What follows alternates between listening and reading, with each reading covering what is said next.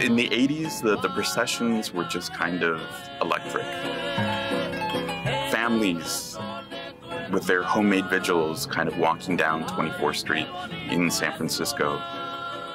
It was so much more intimate back then, so much more personal, so much more rooted in kind of a family practice of a very strong cultural practice.